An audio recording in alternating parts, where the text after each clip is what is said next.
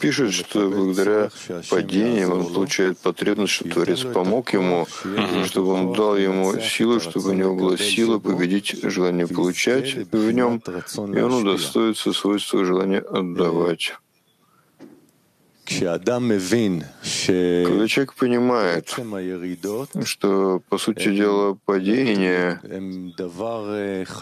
это нечто важное для продвижения, как, когда приходит падение,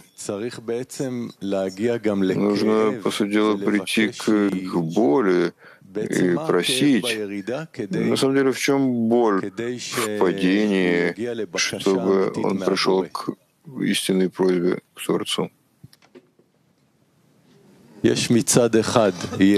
И с одной стороны падение, в котором он должен почувствовать, что оно как раз продвигает его к Творцу, а с другой стороны, он должен прийти к истинной молитве, к боли, что он, по сути, не хочет оставаться в падении. Да.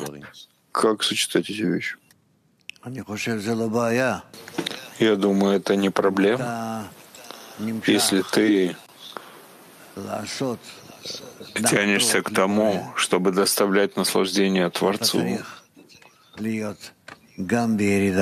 ты должен быть как в падении, для того, чтобы понять, насколько ты далек. И также на подъеме, чтобы ты понял, что ты собираешься сделать что-то что большое для него.